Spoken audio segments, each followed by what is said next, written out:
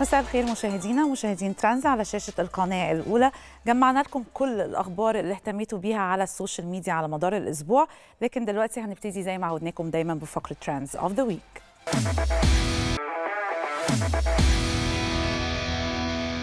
مهرجان العلمين. إنجاز مصري في الأولمبياد. إيمان خليف تتصدر الترند عالميا. ويلا بينا نعرف كل التفاصيل.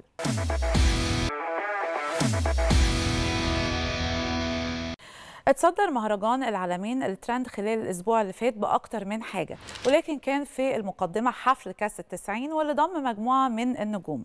وبالرغم من إن الحفلة كانت يوم الخميس اللي فات إلا إنه لحد النهارده في كتير من الفيديوهات من الحفلة متصدرة الترند وخصوصا الفيديوهات اللي بتجمع ما بين هشام عباس وحميد الشاعري.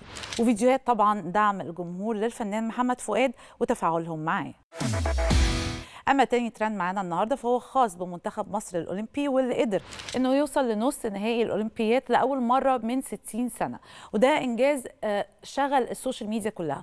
وده بعد فوزه على منتخب باراجواي بضربات الجزاء. وبالرغم من هزيمة المنتخب أمام منتخب فرنسا في النص النهائي إلا أنه قدم أداء مشرف جدا ولسه عنده فرصة أنه يحقق الميدالية البرونزية. ولسه مكملين كلامنا عن أولمبياد باريس والمرة دي عن إيمان خليف واللي اتصدرت الترند عالميا لدرجة إنه رئيسة الوزراء الإيطالية بنفسها طلعت اتكلمت عنها. إيمان اتصدرت الترند بعد مباراتها مع لاعبة منتخب إيطاليا واللي انسحبت في الدقائق الأولى من المباراة. وبدأ الوفد الإيطالي يوجه اتهامات لإيمان بأنها أصلا مش بنت وانها متحولة جنسيا ولكن خرجت اللجنة الأولمبية الدولية عشان تنصفها وتأكد إن كل دي إشاعات ومش صحيحة تماما. وبكده نكون خلصنا فقرة trends of the week خلال الأيام اللي فاتت خرج أكتر من تحذير من منظمة الصحة العالمية بسبب الارتفاع الكبير في درجات الحرارة وحذرت سكان العالم من التعرض المباشر لأشعة الشمس خصوصا في شهر أغسطس. والتحذير كان بيوضح إنه التغيرات المناخية وارتفاع درجات الحرارة هيكون ليها تداعيات كبيرة جدا على كل حاجة على الأرض وطبعا الموضوع ده شغل الناس على السوشيال ميديا واللي تقريبا يوميا بنلاقي فيديوهات مختلفة متصدرة الترند وبتتكلم عن الارتفاع الكبير في درجات الحرارة. وعشان نعرف تفاصيل أكتر عن الموضوع هيكون معانا دلوقتي مداخلة مع الدكتور وحيد إمام أستاذ العلوم البيئية بجامعة عين شمس عشان نعرف منه أكتر عن الموضوع. أهلا بحضرتك يا دكتور. الحمد لله الحمد لله. في البداية عايزين نعرف من حضرتك هل الارتفاع الكبير في درجات الحرارة والرطوبة ده طبيعي دلوقتي إنه يحصل في الشهور دي ولا لأ؟ هي بس خلينا نفصل الرطوبة لأن الرطوبة دي شيء مستقل بذاته. كويس هي اللي بتزيد الشعور بالحرارة. فالوقت ده اللي هو ما بنخش على أغسطس ده وقت بيبقى غالبية الأمطار اللي بتنزل بتنزل في وقت الصيف اعتبارا من أغسطس وسبتمبر كويس بالشكل كبير وخصوصا في المناطق بتاعتنا. أما التغيرات المناخية فهي بتزيد بالفعل من حدة ارتفاع درجات الحرارة وبالتالي إذا كان في ارتفاع درجات الحرارة بيبقى في نسبة بخر عالية وبالتالي المناطق اللي بتبقى فيها زراعات خضراء أو اللي بتبقى فيها مسطحات مائية بتزيد فيها عمليات البخر بتزيد فيها الإحساس بالرطوبة بشكل كبير. ولو كان في رياح موجودة فهذه الرياح هتساعد على انتقال الشعور بالرطوبة من المناطق اللي اتولدت فيها وتنقلها طبعا للمناطق الداخلية زي مثلا المدن وده اللي بنتكلم عليه. التغيرات المناخية آه للأسف آه اللي حدثت بفعل الانشطه البشرية كان المردود بتاعها آه ارتفاع حادث درجه الحرارة على حظنا إن إحنا متوسط درجة حرارة الأرض زادت بمعدل واحد وواحد من عشرة درجة عن المعدل الطبيعي بتاعها اللي هو 15 والعالم كله بيسعى حاليا دلوقتي إنه ما تزيدش عن واحد ونص. يعني إحنا عندنا أربعة من عشرة درجة بنحاول عام 2050 نتخلص ما نوصل لهمش بأي شكل من الأشكال. وده عملية هتبقى صعبة جدا لو استمر الحال بالمنظر ده في ارتفاع درجات الحرارة وعدم الالتزام العالمي لأن دي مشكلة عالمية عدم الالتزام العالمي من غالبيه الدول المتسببة في ارتفاع درجات الحرارة بسبب الصناعة والأنشطة البشرية بتاعتها وخاصة الصين والسبع دول الصناعية والولايات المتحدة الأمريكية اللي بيمثلوا أكثر من 75% من أسباب المشكلة. دول كلهم عدم التزامهم بيؤدي أو بيشير بشكل كبير زي ما الأمين العام للأمم المتحدة وزي التقارير ال IPCC الهيئة الحكومية المعنية بتغير المناخ ان لو استمر الحال بهذا بهذه الوتيرة هنوصل على عام 30 ممكن. يعني خلال ست سنين لأكثر من واحد وثلاثة من عشرة وممكن الواحد ونص اللي إحنا بنستهدفه ما يحصلش. لأن إحنا بنستهدف على عام 30 انخفاض في نسبة الغازات المحدثة المتسببة في ظاهرة الاحتباس الحراري ل 50% نقللها 50% طب إزاي اقللها 50% وهي بالفعل كل اللي بيسجل سنويا بزيادة. ففي مشكلة مشكلة عالمية ومهم جدا تداركها بأي شكل من الأشكال. التغيرات المناخية بشكل عام بتؤدي إلى ظواهر متطرفة. الظواهر المتطرفة إحنا ممكن نشوفها على شكل السيول وشكل الفيضانات اللي موجودة معانا. في مناطق جفاف في مناطق تانية. وده الغريب يعني حزام الأمطار ابتدى يتغير بشكل كبير من المناطق الأساسية اللي موجودة فيه. فإما بزيادة أو بالنقصان. على سبيل المثال إحنا شايفين إن المنطقة يعني إحنا السودان كانت لسه غرقانة في الأمطار والفيضانات اللي موجودة فيها. في دول كثيرة بقت فيها ثلوج موجوده الأرجنتين على سبيل المثال اتغطت بالثلوج يعني مناطق حارة جدا ومناطق فيها سيول وفيضانات وإحنا شفنا باكستان نفس القصة شفنا الصين نفس القصة موجودة فيها ومناطق أخرى فيها ثلوج موجودة في هذا التوقيت. يعني إحنا من فترة قريبة لسه بنشوف هذه الظواهر المتطرفة. وبالتالي ده كله بيكون ليه آثار آثار جانبية مباشرة أو غير مباشرة على صحة الإنسان وعلى صحة الحيوان وخلافه. طيب دكتور بعض المنظمات العالمية بتقول إن الارتفاع ده ممكن يتسبب في ذوبان الجليد وبالتالي يحصل تسونامي في بعض الدول، هل الكلام ده صحيح ولا دي إشاعات؟ ذوبان الجليد ما يؤديش إلى تسونامي بأي حال من الأحوال، ظاهرة التسونامي عشان تحصل محتاجة إن يكون في زلزال في باطن الأرض من الألواح التكتونية وخاصه اللي موجودة في المناطق المفتوحة، المناطق المفتوحة يعني إيه؟ المحيطات.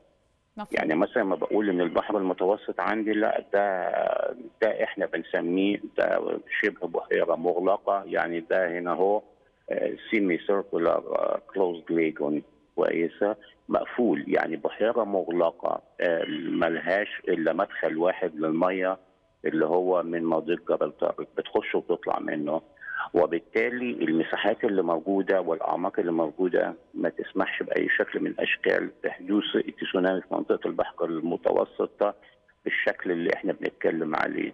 كويس. وإحنا شفنا من فترة قريبة يمكن حوالي ثلاث أيام في زلزال حصل في إيطاليا حوالي خمسة ريختر وكان التأثيرات بتاعته لا تذكر. يعني اذا إحنا بنتكلم على إيه منطقة مغلقة أو شبه مغلقة نادر ان ممكن يحصل فيها تسونامي آه التسونامي حصل مرة واحدة يمكن في البحر المتوسط سنة 1650 لأسباب مختلفة. موجودة برضك آه زلزال بس كان بسبب بركان داخلي موجود في قاع البحر. ودي قصة تانية ما حصلتش تاني من من وقتها. ولكن بشكل عام ما عنديش مشكلة. أما في المناطق المفتوحة ذوبان الجليد وحتى المناطق المغلقة وشبه المغلقة بيؤدي إلى ارتفاع مستوى سطح البحر. هو ده اللي ممكن يؤدي إلى غرق المناطق المنخفضة. وده اللي بنتكلم عليه. يعني يكون عندي جزر أو عندي شواطئ منخفضة يعني مثلا منطقة بورسعيد منطقة منخفضة. المية ما تيجي تزيد فيها بتزيد بنسبة سنويا 4 من عشرة إحنا بنتكلم عليها من ال 4 ملي آسف 4 ملي 4 ملي يعني لما نيجي نتكلم على 100 سنة. يعني هنا أهو في عندي 400 ملي يعني أنا دخلت على حوالي 50 سم وفي نفس الوقت بيحصل تآكل للشاطئ بنفس المستوى أو أزيد شوية. يعني ممكن يبقى من 4 ل 5 مللي. يعني أما أضيف الاثنين ألاقي نفسي إن أنا وصلت لحوالي إما 80 سم أو 100 سم يعني حوالي المتر. في خلال ال 100 عام القادمة. آه يبقى المنطقة دي متر ده يغرق الدنيا خالص. متر يخلي الملوحة تزيد في المياه الجوفية في المناطق القريبة. متر معناها إن الدلتا كلها بتغرق لغاية البحيرة. يعني ده مش اللي حاصل طبعا دلوقتي حاليا عندنا. لا ده مش حاصل. خلاص. لا الحمد لله مش حاصل وبعدين طبعا الدول ما بتسيبش نفسها بهذا طبعا. الشكل يعني طب سؤال أخير يا دكتور هل الشتاء ده معناه كده إن هو ممكن يكون شديد البرودة وفي أمطار ولا هيبقى شتاء دافئ؟ لا بصي لي الشتاء الدافئ كان السنة دي والسنة اللي جاية من المتوقع إن الشتاء هيكون بارد كويسة. البرودة بتاعته دي هتتوقف على ظاهرة عكسية. إحنا عندنا دلوقتي الظاهرة اللي مو... اللي عايشين فيها من فبراير 23 لغاية دلوقتي اللي هي الظاهرة اللي بيطلقوا عليها ظاهرة النينيو ظاهرة النينيو ارتفاع درجة حرارة المياه في المحيط الهادي في المنطقة الشرقية بمعدل نص درجة. هي اللي رفعت وضعفت متوسط درجة الحرارة اللي موجودة ووصلتها إلى في المتوسط إلى 1.4 من عشرة. أنا بتكلم التغيرات المناخية 1 1 من عشرة واحد دي مزودة كمان 3 من عشرة. فمحسسانا بالنار الشديدة اللي العالم كله بيتكوي بيها دلوقتي. بتنتهي هذه الظاهرة على نهاية أغسطس وبدايات سبتمبر. يعني على ديسمبر تبقى الدنيا ابتدت تظبط معانا إن شاء الله. شاء الله. ولكن هو السؤال هل الظاهرة المقابلة ليها اللي هي بيسموها اللا نينيو؟ في نينيو ولا نينيو؟ اللا نينيو بقى دي هي المسؤولة بقى عن البرودة والأمطار اللي إحنا بنتكلم عليها. هل هتبدأ بالفعل مباشرة وراء انتهاء ظاهرة النينيو؟ ويعني اعتبارا من بداية الخريف والشتاء القادم ولا ممكن تتأخر سنة؟ فلو ابتدت هتحس ببرودة شديدة. أشد من اللي أنت كنت بتحسي بيها ولو اتأخرت سنة هتحسي في بروده بس البروده هتبقى محتملة بشكل أو بآخر ولكن بوجه بوجه عام الحرارة مش هتبقى مرتفعة حتى في فصل الصيف وبنفس الوتيرة ونفس الشذوذ اللي إحنا شايفينه حاليا دلوقتي. دكتور وحيد إمام أستاذ العلوم البيئية بجامعة عين شمس بشكر حضرتك جدا على المداخلة. وبكده نكون خلصنا فقرة scoop.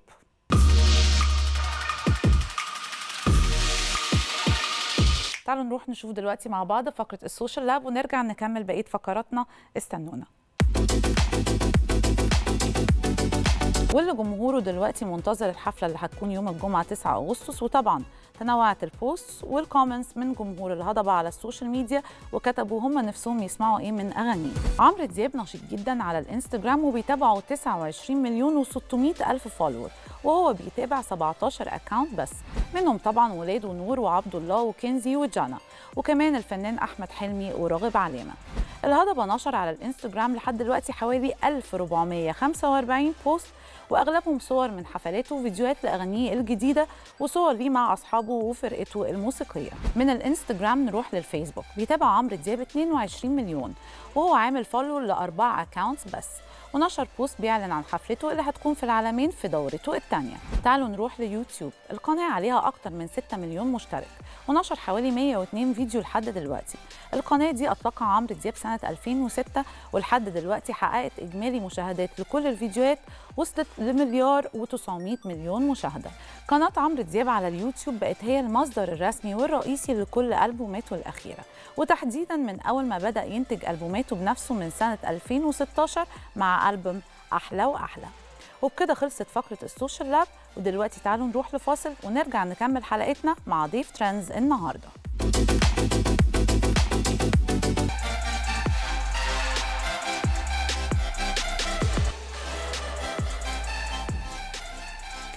وقت قليل بيفصلنا عن بداية السنة الدراسية الجديدة. وخلال الفترة دي دايما بنشوف أمهات كتير بيكونوا حابين إن هم يأهلوا أولادهم للدراسة بعد فترة الأجازة. ضيفتنا النهاردة خصصت المحتوى بتاعها إنها تشوف فيه حلول تربط بين التعليم واللعب والانبساط وقدرت إنها تعمل نظام تعليمي جديد وبعيد كل البعد عن الروتين والحفظ عشان تساعد الأولاد إن هم يحبوا الدراسة. منورنا إيمي أباظة مؤسسة بيج ايميز جايد إزيك يا إيمي؟ أهلا بيكي. عاملة إيه؟ تمام الحمد لله. طبعا انت مش فاهمة يعني هو إحنا بالنسبة لنا كأمهات كلنا أكتر حاجة متعبة في الكون إن إحنا نقعد ولادنا إن هم يذاكروا. وللأسف إحنا اتعودنا على طريقة معينة وبنكررها مع اولادنا اتعودنا على طريقة اللي هو ذاكر ذاكر ذاكر احفظ احفظ احفظ احفظ.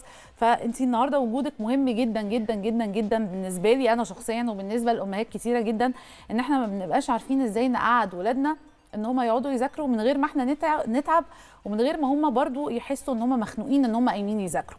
تمام. فأول حاجة عايزة أعرف عنه عنها. إيه هي المذاكرة اللي من غير حفظ؟ حلو. الهدف إني أحفظ عشان أروح أمتحن وأحط المعلومات دي وأنسى بعد كده يعني أكيد إحنا مش عايزين ده. طب ما إحنا ممكن نفس المعلومات دي نعرفها in a fun lovely كده cute way بالطريقة دي أنا عمري ما هنساها. يعني أول حاجة إحنا بس نحط نفسنا مكانهم ونفتكر لما إحنا كنا زيهم كده. مش طايقين نفسنا طبعا مخنوقين. ما هو طب طب ليه نعمل تاني نفس صح. يعني ليه عقد نفسية جديدة صح. في ناس جديدة؟ طيب ما إحنا نغير بقى الفكرة دي. مظبوط. مع إن نفس المعلومات دي في طريقة تانية ألطف وأظرف كتير أعرف أعرف بيها المعلومات دي وأكتر منها بكتير.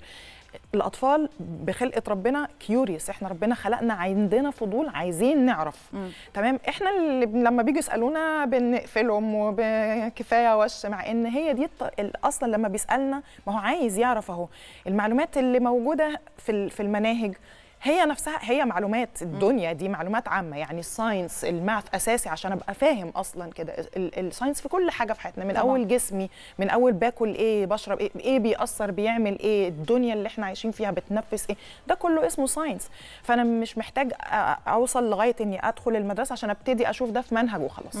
تمام فإزاي بيبقى حاجة فن بإني أسيبه يلعب هو الطفل أصلا بيتعلم وهو بيلعب هي ده الطبيعي بتاعه. فاللعب هو أساس التعليم فعلا. ففي طرق كتير جدا جدا جدا أحلى وأسهل بكتير من إني مجرد أقعدهم غصبا واقتدارا قاعد يحفظ عشان آه، إن هو يروح يمتحن وخلاص. طيب أنا قبل ما أعرف إيه هي الطرق دي أنا عايزة أعرف أنت جات لك الفكرة دي من فين؟ نفس فكرة كل أمهات الدنيا اللي إحنا مش عاجبنا اللي حاصل ده فينا أكيد وعارفين إن إحنا الموضوع النظري ده وخلاص وإن أنا قاعد يعني متأذي وأنا بعمل ده فليه طيب اعمله كده؟ مش عايزة أعمل كده في اولادي أكيد. ففي عايزة أعرف إيه إزاي إن إحنا ن enjoy our life إزاي يستمتع بحياته. بحياتهم وبطفولتهم وأنا أستمتع معاهم بطفولتهم دي كمان إحنا مخلفينهم. جملة مهمة جدا. أنا عايزة أقول لك إن ساعات أنا بحس إن في أمهات كتير علاقتهم بتبوظ باولادهم هي دي بقى. هي دي وقت بقى ليه؟ المذاكرة. طب ما على إيه؟ طيب إحنا بنتخانق. هو إحنا خناقة. هو هو في في فرق بس بين بين الجدية تمام وال وال وإنه إحنا مش عايزين نزعل مش عايزين نزعل إحنا من بعض. هنا في نقطة واحدة بتاعه الالتزام. في وقت الجد بعمل فيه جد بس مش لازم نتأذى ونتخانق ون ونسحب السفير من بعض ونتخاصم وكل المشاكل النفسية دي بجد. لكن في في هنعرف نتعلم إزاي. عشان كده إحنا دلوقتي هنا اهو عشان نستغل الأجازة. بمعنى إن أنا ه- في الأجازة دي اعرف آخد معلومات فظيعة ومهمة جدا. كده كده هتجيلي في المنهج كمان شهر. بالظبط. بس أنا دلوقتي مبسوط. وبخرج وبتبسط وبشوفها في cartoons وبشوفها في applications أقول لكم كل الطرق هتعملوا إيه بيها. ها لما هاجي أخدها بعد كده هبقى مبسوط إن أنا شفتها قبل كده وإن إحنا رحناها وتفسحنا فيها مع بعض تمام؟ فبلاش بقى الخسائر النفسية والزعل والخصام. فاللي إحنا بنحاوله ده هو تجنبا للي هيحصل ده. إنما وقت المذاكرة فده وقت مذاكرة. أنا عندي هدف. أنا عارف إن اولا ده شغلي وده دلوقتي المرحلة ال- اللي أنا فيها الوقت ده دلوقتي ده وقت دراسة. فأنا هنا جد تمام؟ آه مش معنى مش معنى كده ان إن بس عارف كمان حاجة إن لما هخلص ده هرجع تاني أقدر أعمل بالطريقة التانية ويبقى في بينا آه، ثقة واتفاقيات. هخلص ده ده عشان ده اللي لازم دلوقتي ده المهم دلوقتي. أخلص مذاكرتي وأخلص واجباتي. آه إنما بعد كده في الأجازة بنعمل كل اللي إحنا عايزينه وأكتر منه وهو تعليم أصلا بس بالانبساط.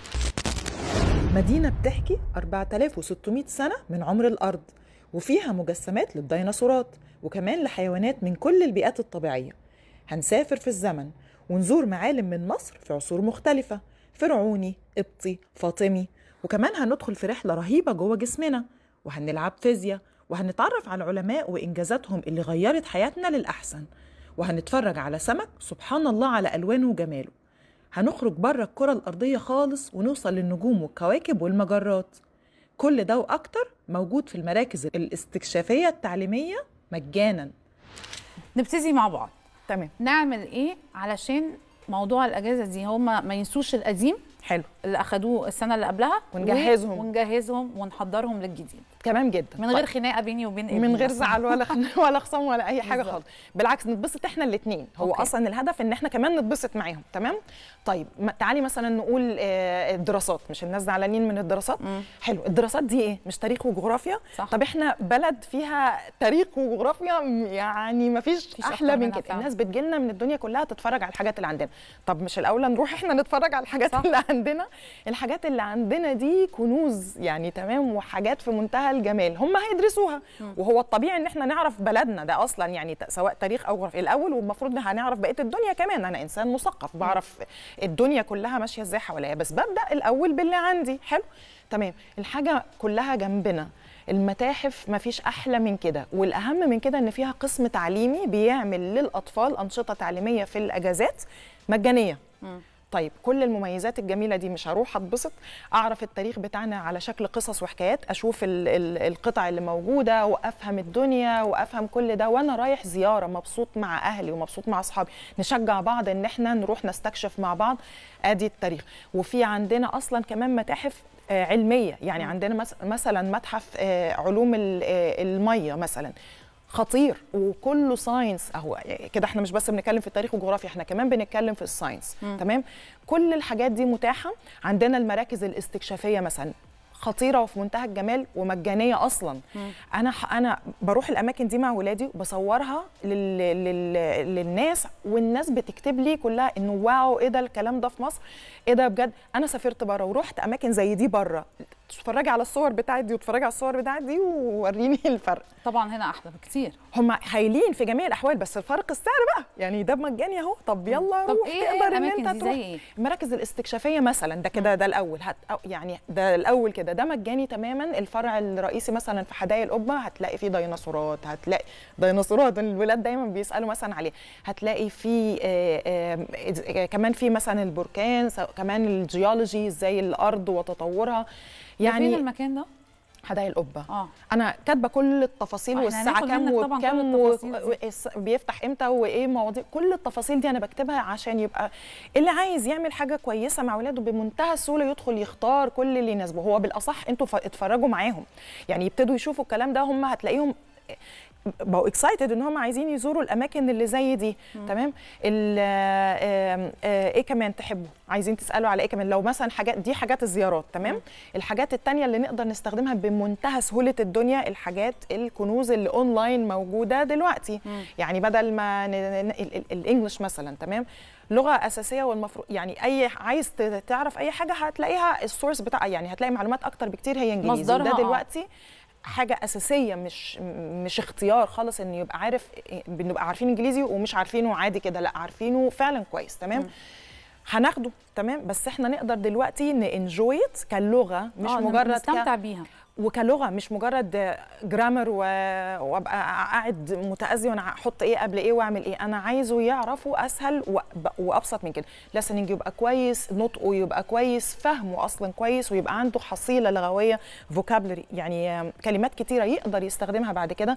مفيش أسهل بقى من كده إنه يتعلم ده ببرامج أطفال cartoons اليوتيوب مليان cartoons صح؟ صح. ومليان حاجات كتيرة بس الشطارة والرك على إيه الاختيار. هو بالظبط. أختار إن هو يتفرج على إيه تمام؟ يبقى الأول إحنا بنستخدم الحاجات ال- ال- الموجودة وبروح زيارات قد ما أقدر أكيد وب- وبعيش معاهم وأبقى عندي علاقة معاهم محترمة لكن ده وأكيد إن الحاجات العملية واللي بإيدي هي الأولوية تمام؟ لكن من ناحية تانية آه، الجزء ال- الأونلاين والجزء بتاع الشاشات أقدر مش إحنا مش ضده إحنا مش ضد ال technology بالعكس هي الشطاره إني إزاي أستخدم ال technology دي تفيدني. لمصلحتي. بالظبط. تمام؟ أستفيد بيها وأتعلم بيها وبأسهل طريقة وأنا في بيتي وكده كده الموبايلات معاهم أهو. بس إزاي بيستخدموها كويس؟ فال cartoons دي فيها حاجات في منتهى الجمال. هي already معمولة تعليميه تمام؟ متنوعة للغاية. إنجليزي تلاقي إنجليزي إنجليزي يعني إزاي يقرأ إزاي إن هو يتعلم vocab إزاي هو يتعلم grammar كل اللي أنا نفسي أعلمه له ب cartoons أنا عاملة سلسلة كاملة اسمها cartoons ولكن يعني cartoons ولكن مفيدة جدا وممتعه جدا ومجانا وعلى يوتيوب هي موجودة. طب قولي لنا كده ال- ال links بتاعتها أو في اسمها إيه على اليوتيوب؟ حلو مثلا هديكم مثال. ولسه في أكتر من كده هتلاقوهم على ال على ال page عندي على Amy's Guide okay. مثلا Alphablocks مثلا دي مكعبات آه، بتتحط الحروف جنب بعض بتطلع لك الحاجة. يعني مثلا كلمة cat هيحطوا C A T وتروح طالع لك قطه أنت ما بقتش محتاج تقول له احفظ ال spelling بتاع حاجة ولا إن أنت أصلا تتدخل ولا تترجم ولا تعمل أي حاجة. هو already بيتربط عنده في مخه وبعينه بيسمع النطق المظبوط ده من ال Brit دي إنجليزي آه، صرف. لازم يبقوا عارفين ال British accent وطبعا الامريكان هو الاشهر والأكتر بس كمان لازم تبقى عارف إنجليزي الرئيسي الرسمي بتاعه. حلو.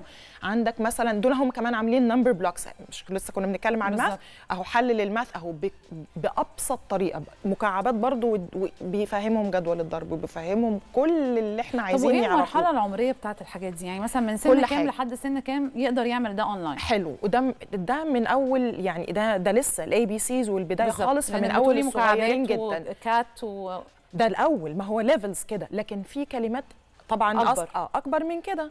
تمام وفي برامج أطفال أعلى كمان من كده في. ال science ده بيتدرج من أول بداية لسه ال logic. والحاجات ال... ال... ال... ال- اللي فعلا بسيطة وبياخدهم يتدرج معاهم فعلا ويعلى معاهم في ال levels لغاية معلومات والله أنا بسمع يعني مثلا في عن space في عن ال dinosaurs سلسلة كاملة عن ال dinosaurs لسه باسل كان عامل هو باسل يع- يعني بيحب قوي ال dinosaurs لدرجة إن إحنا رحنا متاحف زرنا في طبعا المتحف الجيولوجي يعني برضو ده مهم وموجود في مصر موجود ويشوفوا فيه عظم فعلا بتاع بتاع ديناصورات. الديناصورز فعلا.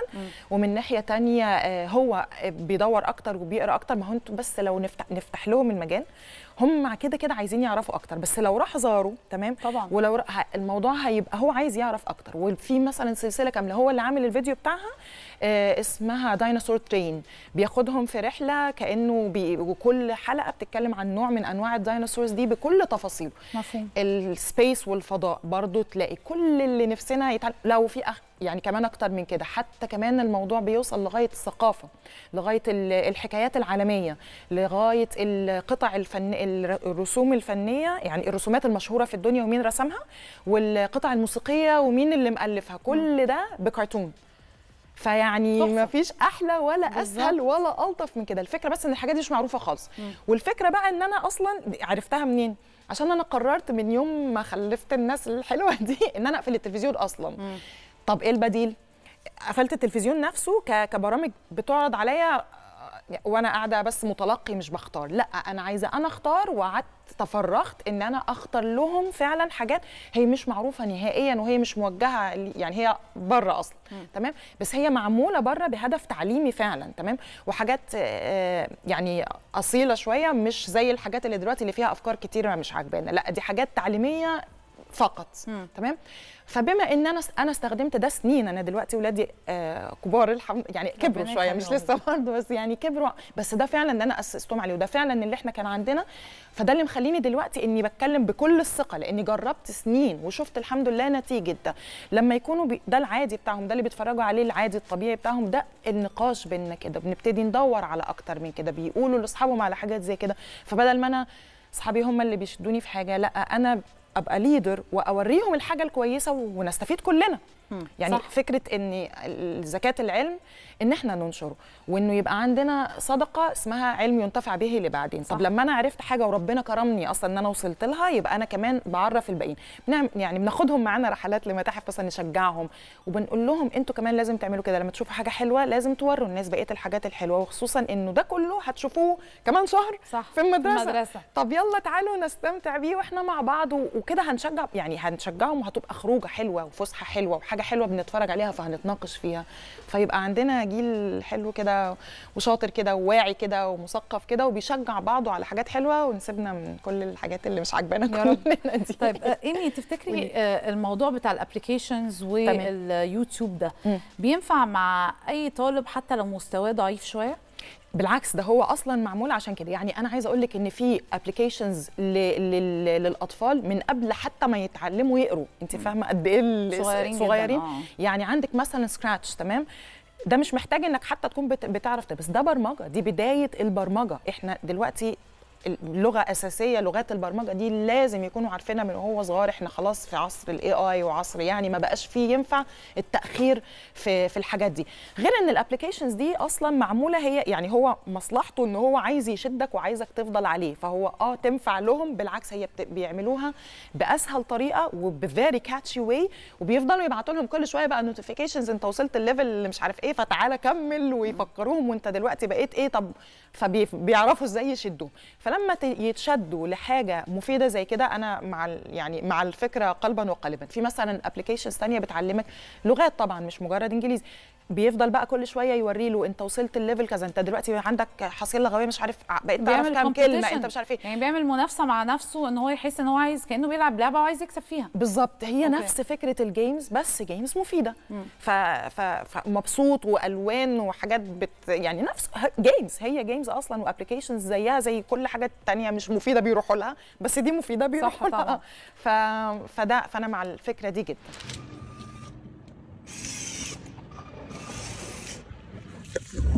نفسك تتعلم برمجة بالمجان تعالوا أقول لك إزاي. بس اولا نعملوا save للفيديو لانكم هتحتاجوه أنتوا وأولادكم. أنا جاي النهارده أعرفكم إن في موقع مجاني لتعليم البرمجه وال coding للأطفال كل ده موجود على موقع سكراتش وده من أسهل المواقع في تعليم البرمجه لأنه بيقدم المحتوى في شكل قصة ويوفر للطفل حرية الاختيار وبالتالي الإبداع. فبيلعب وبيشتغل عليه وهو فعلا مستمتع ومبسوط. الميزة كمان في الموقع إن الأطفال يقدروا يضيفوا عليه صور من الإنترنت أو رسومات هما رسموها بنفسهم. أو يصمم شخصيات ألعابه بنفسه غير إنه يقدر يضيف أصوات أو, أو يسجلها بنفسه. وحتى لو طفلك لسه مش بيعرف يقرأ أو يكتب ممكن تبدأوا معاه بموقع سكراتش جونيور سكراتش قوي جدا في توصيل مفاهيم البرمجة وال coding طيب إزاي نخلي الولاد مستعدين؟ عشان ده سؤال مهم قوي يا إيمي. آه. للمدرسة في الفترة اللي جاية دي. حلو سنة جديدة بقى عام دراسي جديد. طبعا إحنا طالعين من أجازة والأجازة بتبقى عارفة اللي هو إيه آه، في صدمة كده بتحصل للأمهات والأطفال الاثنين إنه أنا مش عارفة آه، آه، هو مش عارف يركز أول أسبوعين في المدرسة هو مش راضي يصحى هو عايز ينام متأخر أجازة بقى. فإحنا إزاي نخليهم مستعدين لفتره الدراسة اللي إحنا داخلين عليها دي بطريقة سريعة شوية وكمان ما تبقاش مؤذية بالنسبة لهم وما تبقاش برضو بتعصب الأم أو إن هي تحس إن هي عليها ضغط كبير جدا إنها تخليه يعمل ده؟ إحنا عشان يعني المفروض تكون العلاقة بيننا إن إحنا بنتكلم في كل حاجة بالظبط. حلو عندنا calendar أو ال plan. يعني النتيجة بنبقى عارفين إحنا إحنا وقت الدراسة بتاعتنا من وقت كذا لوقت كذا وفي في النص أجازة مثلا نص السنة أجازة نص سنة في الشتاء فبالتالي دي بنعمل فيها كذا أجازة الصيف بنعمل, بنعمل فيها, فيها كذا. كذا. تمام في weekends تمام وفي آه، آه، آه، توزيع وتظبيط الوقت بمعنى إن أنا مش عندي معاناة سنة مثلا وهو الفكرة أصلا إن أنا داخل على سنة دراسية آه بس ده مش معناه ان في مأساة. هو إحنا الأول زي ما قلنا إحنا كده كده بنحط نفسنا مكانهم. لو إحنا شخصيا في أجازة وراجعين شغلنا العادي هنبقى متضررين طبعاً. أكيد. طيب لكن الموضوع في الآخر أنا عارف إن ده شغلي وأنا باخد من شغلي ده مرتب والمرتب ده أساسي عشان أعرف آه، نعيش وكده. بالنسبة لهم نفس الفكرة. الدراسة دي هي دلوقتي شغلك في الحياة وده اللي بيعليك في ال levels بتاعتك وده اللي هيوصلك لحاجة أحسن بعدين. فنبقى الأول كده بس واضحين على ده. بس إزاي أعرف إني أتقبل ده بشكل يخليني أبقى فاهم إن ده؟ لمصلحتي القصوى وفي نفس الوقت شطارتي إني أستفيد برضو بالوقت ده وإنه هو مش مجرد للدراسة. بمعنى إني هخلص اللي ورايا اللي هو لازم دي مسؤوليتي لكن في نفس الوقت في كتير events موجودة في وقت الدراسة عادي وبعلن عنها على طول. وبتبقى في ال weekend مثلا شطارتي إني أخلص اللي ورايا الأول عشان أعرف إني أنا أروح ده الأول كمان مفيش مشكلة. طب ما تقترحي لنا يا إيمي كده ثلاث أماكن نروحها الأسبوع ده مثلا. حلو. الأسبوع ده على طول. يلا أول حاجة تروحوها المركز الاستكشافي ده عشان ده فعلا حلو وهيتبسطوا فيه والتنوع اللي فيه حلو جدا ومجاني. تمام؟ آه إيه كمان؟ ده اللي أنت قلتيه عليه في أول الحلقة. آه وهبع يعني وهتلاقي عندكم صور أعرضوها للناس هينبهروا انبهار هيروحوا بكرة على طول. okay. آه تاني حاجة المتاحف بجد والمتاحف دي متنوعة جدا وفي متحف فيهم بقى استنى أقول لكم. وده الليجو شوف الولاد بتحب المكعبات متحف الليجو مثلا هتروحوه هو جوه المتحف المصري بنفس ال ticket الناس ده بتروح لسه جديد لا المتحف المصري اللي في التحرير والله؟ وبقى لنا سنين بنروحه وبقى لي سنين كل ما أحط الصور بتاعته الناس تقول لك ده فين. أنا عن نفسي ما أيوة أعرفوش فين. ورحت المتحف المصري مليون مرة ما أنا أول كلمة كاتباها في ال post إنه ده آه، انت كلنا رحنا المتحف المصري بس ما حدش شاف ده مع إن ده خطير طبعاً. وجميل وتحفة جدا للأطفال وبيعملوا أكيد فظيع. بالليجو كله بالليجو. ومش مش هتصدقي ال- ال- الجمال فعلا بجد. وغير الجولات بقى اللي بيعملوها الولاد زي ما اتفقنا إنه بيعملوا كتير حاجات مجانية للأطفال. القسم التعليمي هناك في م... يعني هايل. بس بقى لنا سنين بنروح معاهم حاجات كتير. ولادي حضروا معاهم مثلا آه، آه، كان في عاملين برنامج اسمه حامل اثر فالطفل نفسه يبقى فاهم كده إنه مسؤوليتك أنت نفسك إن أنت مسؤول عن الآثار بتاعتك وإن إزاي تحافظ عليها وإزاي تبقى فاهم؟ المواضيع دي بتفرق يعني طبعاً. والله العظيم معاهم جدا. مثلا حاجة كمان تقدروا برضو تروحوها ال ال جنينة الأسماك. مش بس جنينة الأسماك فيها حتة برضو جوه كده مش معروفة والناس إيه مش بقى؟ بيروحوها. مكان جوه زي أكواريوم صغير كده. إحنا رحنا اكواريومز بره ورحنا أكواريوم بتاع الغردقة مثلا طبعا يجنن.